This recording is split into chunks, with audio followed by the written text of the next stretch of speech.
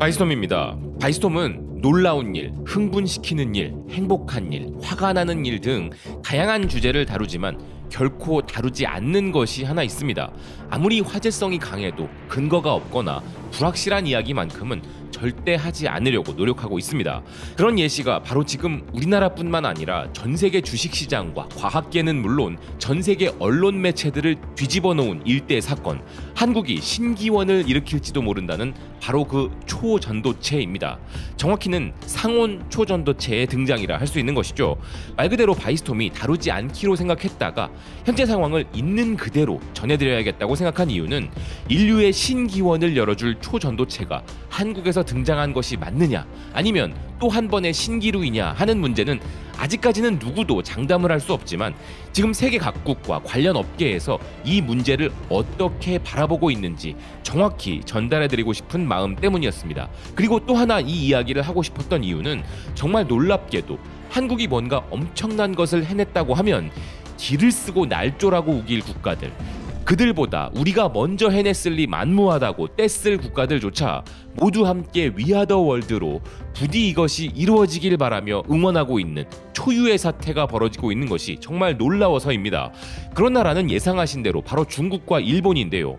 먼저 폴란드의 기술 전문 매체 파젠 와시니는 기술력으로 유명한 아시아 태평양 지역은 이 초전도체 분야의 최전선에 있고 한국, 일본, 중국과 같은 국가들은 모두 초전도체 기술에 막대한 투자를 하고 있다 설명하고 있습니다.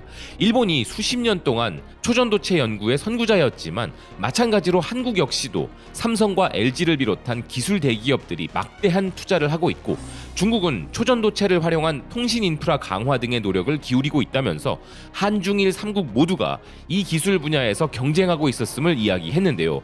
이 소식에 가장 크게 기뻐하며 흥분한 국가는 중국이었습니다.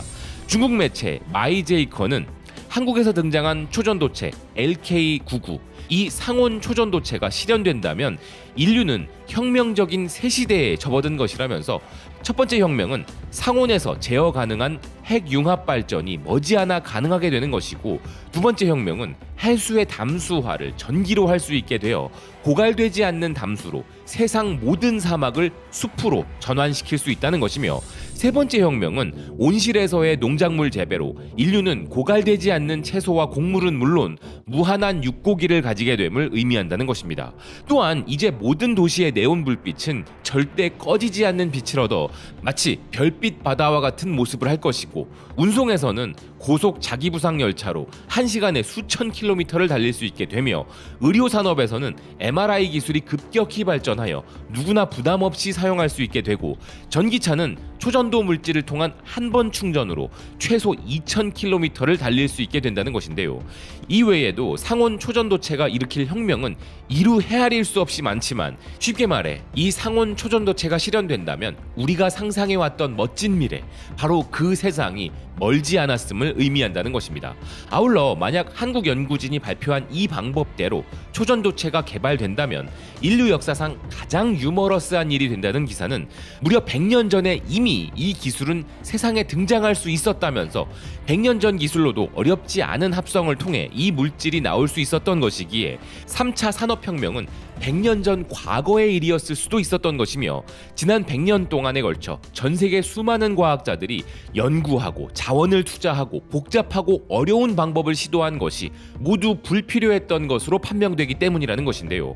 이렇게 세상을 뒤집을 기술이기에 중국 역시 혈안이 되어 노력해왔던 것인데 그럼에도 불구하고 중국은 질투하기는커녕 한국 연구진들의 논문이 사실로 검증되기만을 바라고 있는 분위기인 것입니다.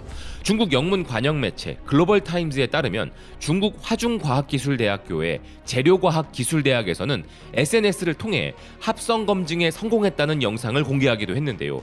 이 밖에도 현재 중국은 다양한 방법으로 우리 연구진들의 기술을 탐내는 수많은 노력을 하고 있는 상황입니다. 중국은 당연히 이 논문의 내용을 토대로 이 기술을 자신들의 것으로 만들려는 시도를 하겠죠. 하지만 그런 과정에서 특허권을 성실히 지킬 국가도 아니라서 문제인데 어쨌든 국가적 차원이 아니라 중국인들의 반응은 한국 연구진들의 발표가 제발 맞길 바란다는 것입니다. 그리고 중국만큼이나 놀라운 반응을 보이는 곳은 바로 일본입니다. 일본은 저희 바이스톰이 평소에도 기사들을 통해 주의 깊게 체크하는 국가이기도 한데요. 특히나 이 중 야후 재팬의 성향은 아시는 바대로 무슨 일이 있어도 한국에 대한 우호적 반응이 나오지 않는 곳임에도 불구하고 사이언스지의 보도가 일본에 전해지자 그들은 예상을 깨는 놀라운 반응을 보였습니다. 초전도체 개발 최전선에 있었던 국가이기에 할 수 있는 반응들인 것 같은데 한번 보시죠. 문제는 전압을 올려도 초전도 상태를 유지할 수 있는지 여부이다. 지금까지는 전압을 올리면 초전도 상태를 유지하지 못해 실용화 단계를 못 가고 실험 세트라고 말해왔었다. 한국의 이번 발표가 맞다면 노벨상급의 발견이다. 사실이라면 훌륭하고 영향력 있는 발견이다. 그저 기점만 된다고 해도 시간과 노력을 들여 결정의 계량은 반드시 해낼 수 있다. 만약 발견이 사실이라면 이론의 계량도 진행되어 애전이 문제의 관제가 근본적으로 크게 바뀔 가능성조차 생기기에 엄청나게 큰 기대를 할 수밖에 없다. 우선 논문 검토의 결과를 기다려보고 싶다. 이것이 사실이라면 이건 혁명적 발견이자 발명이다. 과학적 연구의 좋은 점은 재현 시험이 가능하다는 것. 논문대로 실험해 같은 결과를 얻을 수 있다면 이것이 바로 혁명이라 말할 수 있지 않을까 생각한다. 사실이라면 훌륭한 성과이다. 실용화되기 위한 복잡한 문제는 있으나 이번 메커니즘이 해명되는 것만으로도 새로운 소재의 개발로 연결될 수 있다고 본다. 누구라도 재현해 볼 수 있는 조성, 합성 방법을 기재했다는 것이 대단하다. 이렇게 공개했다는 것은 재현 가능성에 대해 나름 자신이 있었을 것이므로 진짜인 것이라 기대하고 싶다. 정말 사실이길 기도하고 싶다. 반응들을 보면 이게 얼마나 그들을 흥분시키는 일인지 알 수 있고 일본에서조차 악플이 달리지 않는다는 것이 정말 놀라울 따름인데요. 한중일 외에도 대만 매체들도 이 소식을 크게 전했습니다. 타이완 뉴스는 한국의 초전도체 주장은 검증이 필요하다고 대만 과학자들이 말하고 있다면서도 지금 세계에서 벌어지고 있는 현상에 대해서도 전하고 있는데요. 기사는 현대 물리학의 성배라 여겨지는 상온 초전도체를 발견했다는 한국 연구원들의 주장이 등장하였는데 대만 국립대 물리학 교수 양홍두에는 이것이 입증된다면 이 기술은 에너지 손실을 줄이고 자기 부상 열차에 사용되는 등 기술의 혁신적인 혁명을 주도할 것이며 이 업적은 그들에게 노벨상을 안겨줄 것이라 말했다는 것입니다. 그래서 대만의 과학자들은 물론 지금 전 세계 과학자들은 이를 재현해내는 실험에 박차를 가하고 있다는 것인데요. 사실 아시다시피 전 세계 과학계에 서는 아직까지는 더 기다려야 한다. 더 검증이 필요하다 등의 회의론이 기대감만큼이나 큰 상황입니다.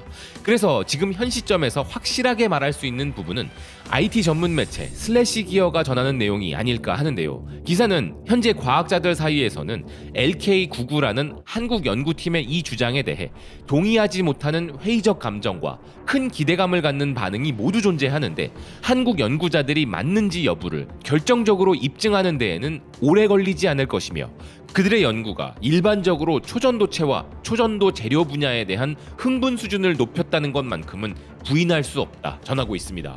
이번 일로 인한 흥분의 강도는 주식시장을 통해 잘할 수 있었는데요. 뭔지 몰라도 일단 대단해 보인다는 이유로 테마주가 형성되고 주식시장에 큰 파장이 일어난 것은 우리나라만의 일이 아니었습니다. 아무런 눈에 띄는 뉴스도 없는 American Superconductor라는 미국의 초전도체 관련 기업은 이번 발표의 영향으로 단 하루 만에 주가가 46.3% 급등하기도 했는데요. 지금 미국 월스트리트에서도 이 초전도체는 매우 핫한 상황인 것입니다.